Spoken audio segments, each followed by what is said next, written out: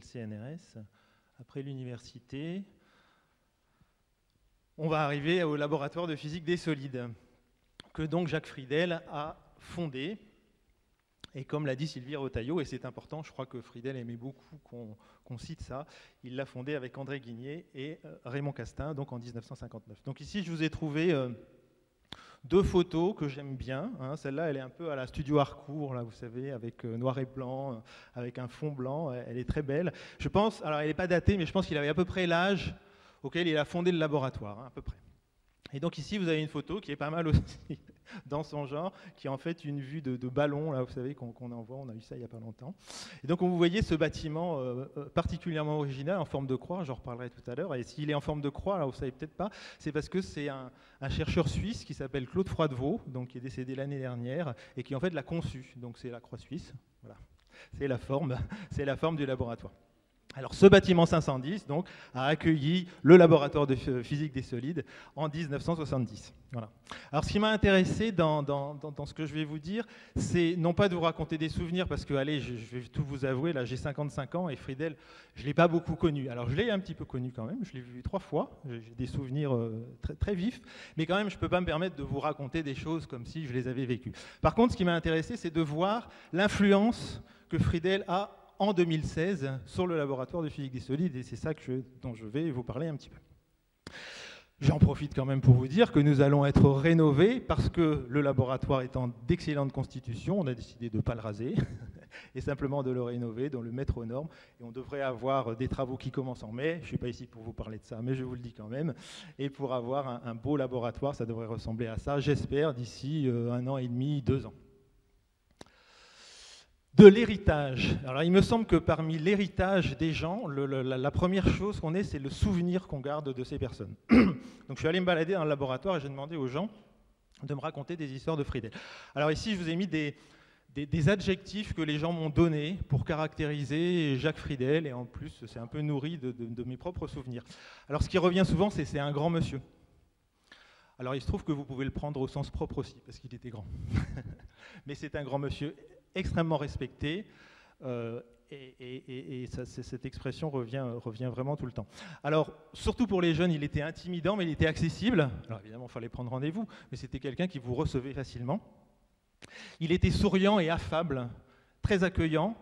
Et alors souriant, moi, c'est vraiment quelque chose qui me frappe, ça. Et donc j'ai malheureusement qu'une seule photo où on le voit souriant. Et moi, c'est un souvenir que j'ai de Friedel, c'est ce sourire euh, très accueillant, très sympa, et je pense que ça, joue un rôle dans, le laboratoire aussi.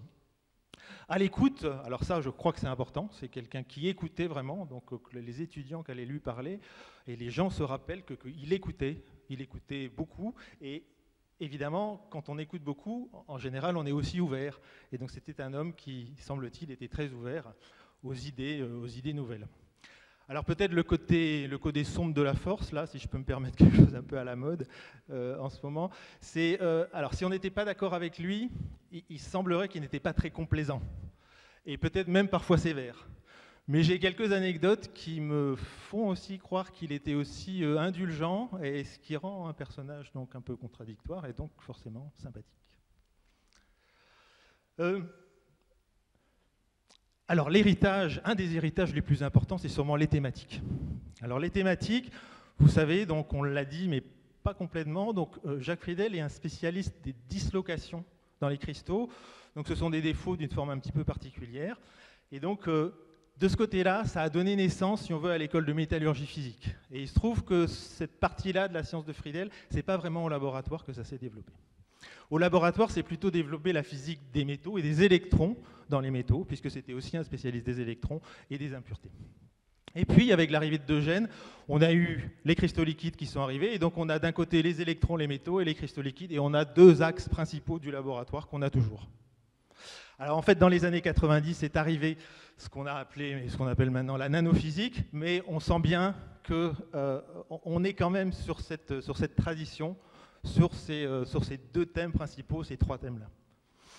Alors on peut aussi se demander prendre le problème à l'envers, c'est-à-dire se dire qu'est-ce qu'on ne fait pas au laboratoire? Et bien, Par exemple, on ne fait toujours pas de semi-conducteurs, parce que historiquement, voilà, c'était pas comme ça que ça s'est passé. Donc on est vraiment dans l'héritage de Friedel sur ces, sur ces thématiques. Alors il me semble aussi important de dire que euh, dans l'histoire très compliquée et très mouvementée de ce laboratoire. Il y a vraiment des histoires dans tous les couloirs, si vous bougez. Euh, on peut dire que Friedel n'a pas été l'initiateur, et loin de là, de tous les sujets qui ont été traités dans le laboratoire, mais, il me semble qu'il les a laissés émerger et que ça a donné des résultats extraordinaires. Et donc, j'ai pas vu euh, Albert Fert arriver. Je lui ai dit bonjour, merci d'être là. Et donc, euh, avec, des, prix, prestigieux, mais sur des thématiques que, Friedel n'avait pas forcément, n'était pas forcément au départ. Et donc, ça, c'est évidemment son grand flair. Alors ça, j'aime bien parce que Alain Schul en a déjà parlé. C'est l'école Friedel. Donc, qu'est-ce qui reste de l'école Friedel? Alors, d'abord, il faudrait la, définir. C'est pas très facile. Donc, j'ai une phrase ici modèle simple qui capture l'essentiel. Il va falloir s'entendre sur le mot, la définition du mot simple, évidemment. Mais donc, euh, malgré tout, ce sont des modèles qui semblent accessibles, peut-être même aux expérimentateurs. Voilà. Et donc, il y a une expression que moi j'aime beaucoup, et que Alain Chou l'a dit, c'est « calcul sur le dos d'une enveloppe ». Alors, il se trouve que cette expression-là, moi je l'ai entendue dire euh, par Friedel. Donc, nous sommes allés le voir avec Jean-Paul Pouget qui est là, et puis il nous dit « Oh, je vous ai fait un calcul sur le dos d'une enveloppe ». Alors moi, je regardais où est l'enveloppe, mais il n'y avait évidemment pas d'enveloppe. Mais... Euh, donc, euh, alors ici, si vous vous demandez ce que j'ai mis, là, c'est la règle de somme de Friedel, voilà, sur le dos d'une enveloppe. Alors, cette expression, elle est bien, parce qu'elle vous dit que, ben, d'abord, son calcul est accessible. C'est un calcul qui tient sur une petite surface. Et puis, elle dit une deuxième chose que moi, j'aime beaucoup, c'est que si vous écrivez sur une enveloppe, c'est que vous n'avez pas de papier. Si vous n'avez pas de papier, ça veut dire que vous n'êtes pas au labo. C'est-à-dire que vous êtes euh, dans un aéroport, que vous êtes euh, ben, peut-être à la poste, puisqu'il est question d'enveloppe, et que vous avez des idées qui vous arrivent comme ça, pendant que vous êtes en train de penser à autre chose. Hein. On connaît l'histoire de Poincaré, qui découvre quelque chose en montant dans un train. Ben, moi, ça me fait penser à ça, et je trouve ça assez sympathique. Alors, l'école Friedel, est-ce qu'il a disparu? Alors ça, c'est quelque chose de difficile, donc j'ai été discuté avec un certain nombre de mes collègues théoriciens. Et alors, s'il faut choisir entre oui et non, eh bien, la réponse est plutôt non. Au sens où cette euh, tradition, de faire des calculs de cette manière-là, c'est quand même un peu perdu. Alors est-ce que ça veut dire qu'elle a disparu? Non, je ne crois pas. Euh, puis comme on parle de métaux et d'alliage, peut-être que le meilleur mot, ce serait dire qu'elle s'est un peu dissoute. Alors il nous lègue aussi un bâtiment, en fait. Et ce bâtiment, c'est pas n'importe lequel. Alors d'abord, il a une forme de croix, ce qui est déjà très original.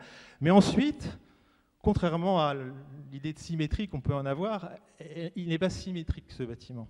C'est-à-dire que l'aile sud, ici, n'est pas pareille que les autres.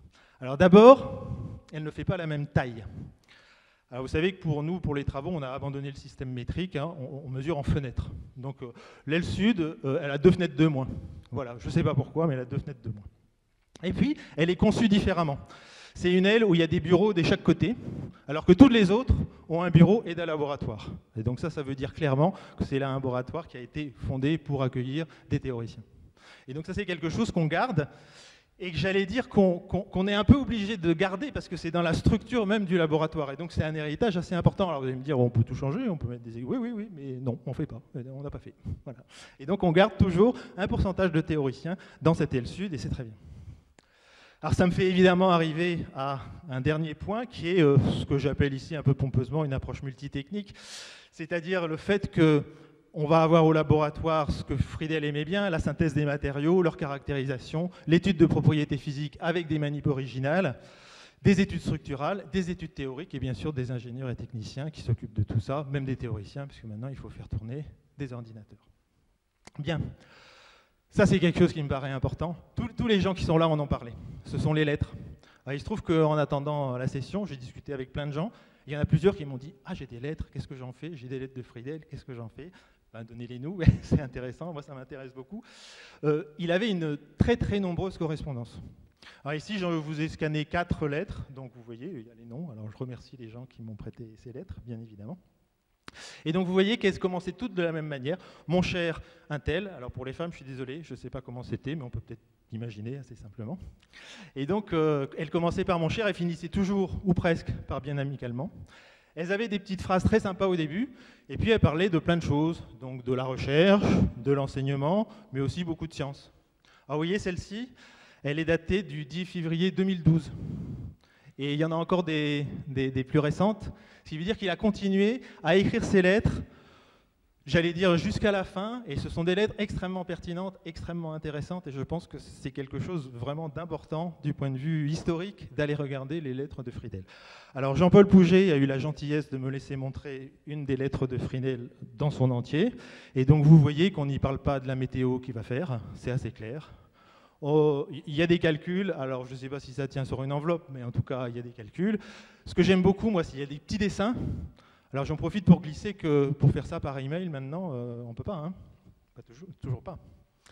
Euh, voici des petits dessins. Donc. Et puis alors il y a un truc qui est intéressant, c'est, vous voyez ici, il y a une référence. Ici c'est Bloombergen, 1953, euh, avec la référence exacte, le numéro du volume est souligné, là, comme on doit faire. Donc c'est vraiment, bien, écrit, typographié. Et donc ces références, donc ça c'est important, parce que Friedel, c'est un homme d'une immense culture. Donc dans son bouquin, il est dit qu'il était dans le jury de 100 thèses par an. Donc je ne sais pas si vous imaginez 100 thèses par an. D'ailleurs, moi, je n'imagine pas. Je suis allé voir mes collègues. Je leur ai dit Tu crois que c'est possible 100 thèses par an? On a réfléchi, on a fait des calculs sur le dos d'une enveloppe, évidemment. Et on a, oui, on a conclu que ouais, c'était possible, mais que c'était remarquable. C'était remarquable. Et donc, ça lui donnait une vision de tout ce qu'il y avait en physique des solides, sûrement à Orsay et aussi en France. Et donc, il savait beaucoup de choses. Et donc, il donnait des références quand on lui demandait. Alors, ça avait même un côté un petit peu énervant, puisque quand vous avez quelqu'un avec qui vous écrivez tout excité, voilà, j'ai un nouveau résultat, paf, il y a une référence de 1950 qui arrive. C'est un peu vexant. Alors, je vais me servir de cette lettre pour basculer, parce que je voulais vous parler un peu de science aussi, de science qui se fait. Hein. L'idée, c'est un peu euh, show must go on. Voilà. Et donc euh, j'ai entouré cette phrase, alors vous voyez, donc il est question d'impureté, et alors il y a marqué, pour une structure métallique, on trouve les oscillations usuelles liées au vecteur KF de Fermi. Et donc ce sont bien des oscillations de Friedel dont il s'agit. Alors ces oscillations, qu'est-ce que c'est? Je ne vais pas vous expliquer en détail, mais quand même avec un petit dessin. Si vous mettez une impureté, vous amenez une charge, et donc les électrons vont faire écran à cette charge en adoptant une structure très très particulière, donc on appelle maintenant oscillation de Friedel, et qui est composée de trois ingrédients qui sont importants. Donc bien sûr, c'est l'oscillation qui porte son nom, qui est reliée à ce vecteur d'onde dit de Fermi, hein, qui caractérise les électrons de plus grande vitesse dans un métal. On a un déphasage, ça c'est super fondamental, qui est dû au fait que la phase de ce côté-là n'est pas la même que la phase de ce côté-là, et puis une atténuation à grande distance. Mais ces oscillations vont à très grande distance, évidemment, et ça c'est un point important. Alors pour donner une idée, la distance entre deux oscillations, c'est de l'ordre du nanomètre. Alors je vais profiter de ces oscillations pour introduire un sujet donc, sur lequel je travaille et vous montrer une expérience qui, je pense, j'espère, mais je n'en sais rien, aurait intéressé Jacques Friedel. Donc elle porte sur des ondes de densité de charge. les ondes de densité de charge, ce sont aussi des oscillations qui ont la même période, donc pi sur kf, et qui euh, sont un état fondamental thermodynamique et qui s'ordonnent à grande distance. Alors là, j'aime bien cette manip-là, où vous voyez sur ce composé TAS2 une manip de, de, microscopie à force atomique, où on voit les atomes, et microscopie à effet tunnel, où on voit la densité électronique, et vous voyez, c'est pas la même maille, c'est pas la même structure. Donc il s'est stabilisé quelque chose d'autre, qu'on appelle une onde de densité de charge. Cette onde de densité de charge va se coupler au réseau, c'est-à-dire que le réseau va un petit peu bouger, entraîné par ces électrons. Et donc, on va avoir à la fois des propriétés électroniques, il y a un gap qui s'ouvre, donc beaucoup de propriétés électroniques, et aussi des propriétés structurales. Ça se voit peut-être pas très bien, mais vous avez des petites tâches supplémentaires, par exemple ici, qui apparaissent dans un diagramme de diffraction, qui est dû au fait que le réseau va changer. Nouvelle période, nouvelle tâche de diffraction. Alors bien sûr,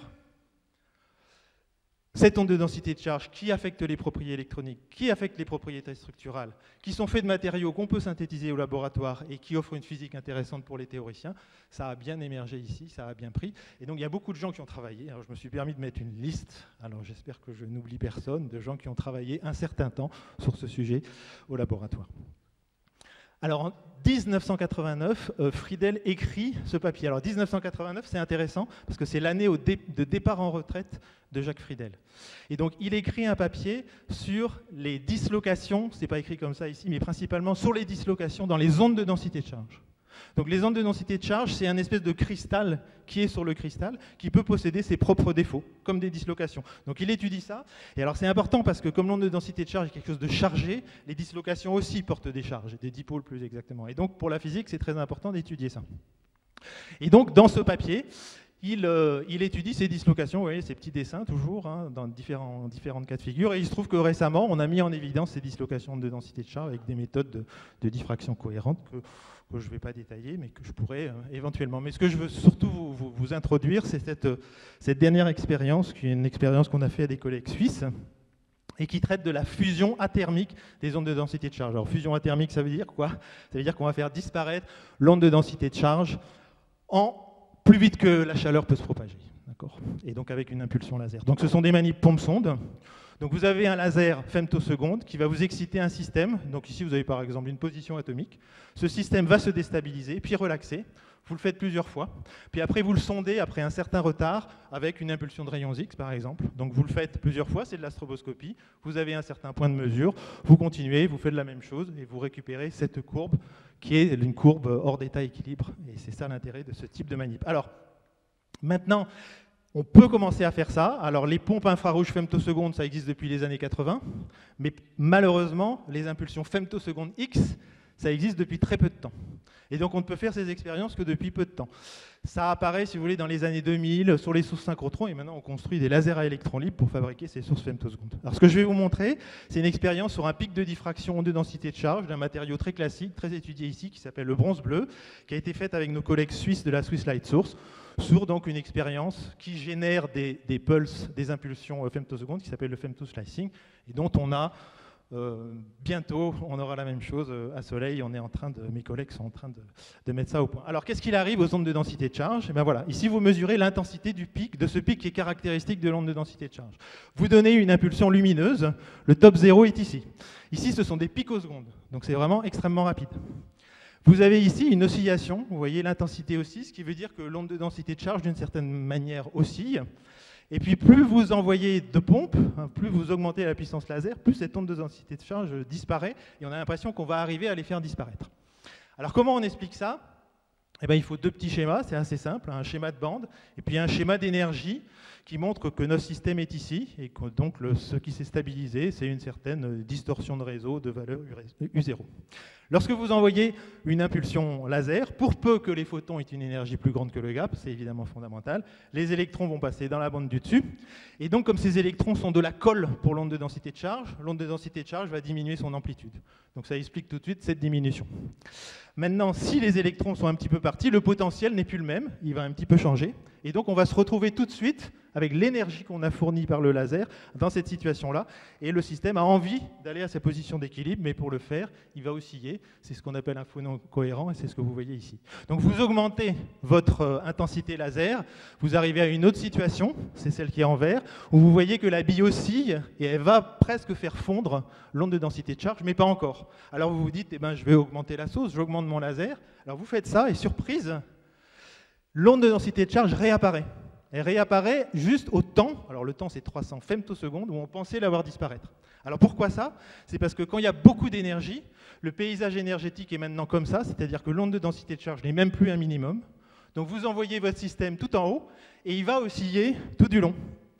Il oscille du côté positif et du côté négatif. Mais comme les rayons X ne voient pas le négatif, mais qu'on voit toujours un carré, ça vous donne l'impression qu'il y a un rebond ici. Ce qui est intéressant dans cette manip, c'est que c'est quasiment une commutation, c'est-à-dire qu'on passe d'un état de densité de charge à une certaine phase à l'état opposé, on a un autre domaine qui passe de l'autre côté. Si vous voulez, on passe d'une situation comme ça, où on a un minimum, là par exemple, à une situation comme ça, où on a un maximum. Et on a commuté en 300 femtosecondes. Alors le système va relaxer, et pour relaxer, eh bien, il va falloir que ce qui est bleu, la partie du cristal qui est passée bleu, se reconvertisse en rouge, et il va y avoir eh bien, des défauts, des mouvements dans tous les sens, et sûrement des dislocations qui vont entrer en jeu. Et ces dislocations, ben, peut-être que ça aurait intéressé Jacques Friedel. En tout cas, ce qui est sûr, c'est que je lui aurais fait une lettre. Donc je vous remercie de votre présence et de votre attention.